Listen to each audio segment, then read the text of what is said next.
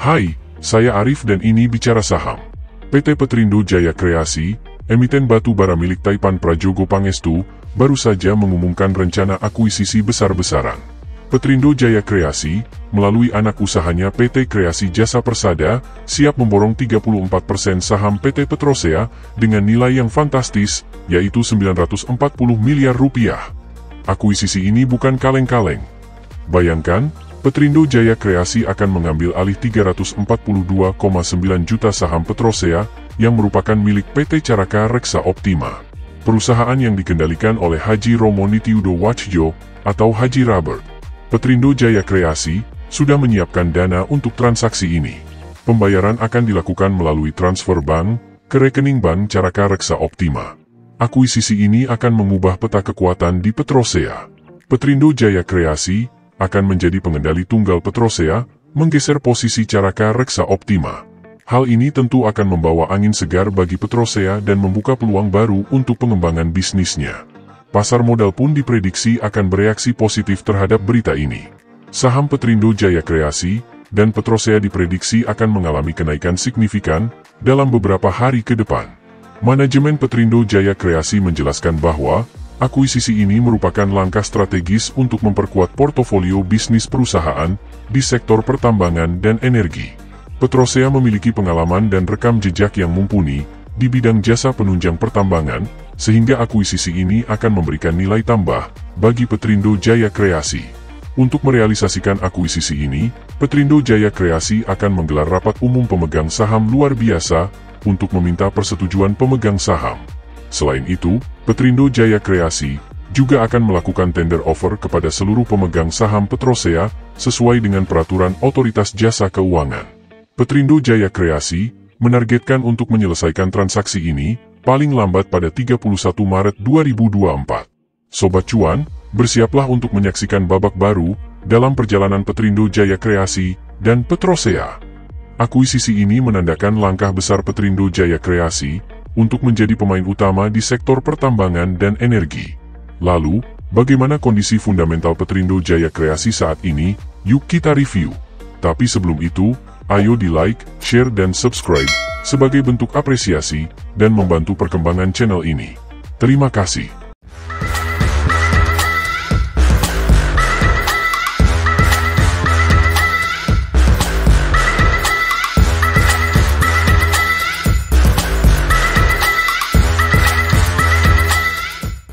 Sisi lain, PT Petrindo Jaya Kreasi, perusahaan yang bergerak di bidang pertambangan batubara dan jasa penunjang pertambangan, menunjukkan kinerja keuangan yang solid di kuartal ketiga tahun 2023. Aset perusahaan meningkat signifikan sebesar 550 miliar rupiah, dari 1,7 triliun rupiah pada Desember 2022 menjadi 2,2 triliun rupiah pada September 2023. Hal ini menunjukkan ekspansi bisnis Petrindo Jaya Kreasi yang agresif. Ekuitas perusahaan juga meningkat dari 1,2 triliun rupiah menjadi 1,8 triliun rupiah pada periode yang sama, mencerminkan kondisi keuangan yang sehat. Pendapatan Petrindo Jaya Kreasi di kuartal ketiga 2023 mengalami kenaikan 26,4 persen, dari 916 miliar rupiah menjadi 1,1 triliun rupiah. Pertumbuhan ini didorong oleh meningkatnya permintaan batu bara dan fokus perusahaan pada proyek-proyek yang menguntungkan. Return on Assets dan Return on Equity Petrindo Jaya Kreasi masing-masing mencapai 10,2% dan 14,2%, menunjukkan bahwa perusahaan mampu menghasilkan laba yang tinggi dari aset dan ekuitasnya. Meskipun pendapatan meningkat, laba bersih Petrindo Jaya Kreasi mengalami penurunan, dari 248,4 miliar rupiah di kuartal ketiga 2022, menjadi 166,5 miliar rupiah di kuartal ketiga 2023. Hal ini disebabkan oleh beberapa faktor. Pertama, peningkatan beban pokok pendapatan dari 311,5 miliar rupiah menjadi 540,9 miliar rupiah. Kedua, peningkatan beban penjualan dari 190,1 miliar rupiah menjadi 352,6 miliar rupiah.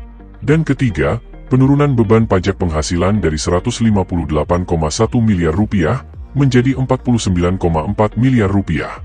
Net profit margin Petrindo Jaya Kreasi di kuartal ketiga 2023 adalah 15,1 persen, menunjukkan bahwa perusahaan mampu menghasilkan laba bersih yang cukup tinggi dari pendapatannya. Debt to equity ratio perusahaan saat ini adalah 29,6 persen, menunjukkan tingkat utang yang moderat dibandingkan dengan ekuitasnya. Arus kas yang digunakan dari aktivitas operasi Petrindo Jaya Kreasi di kuartal ketiga 2023 adalah 47,5 miliar rupiah. Hal ini menunjukkan bahwa perusahaan menggunakan kasnya untuk membiayai operasinya. Nilai total kas Petrindo Jaya Kreasi meningkat sebesar 280,3 miliar rupiah sampai dengan akhir September 2023. Peningkatan ini terutama disebabkan oleh kas yang diperoleh dari aktivitas pendanaan sebanyak 363,9 miliar rupiah.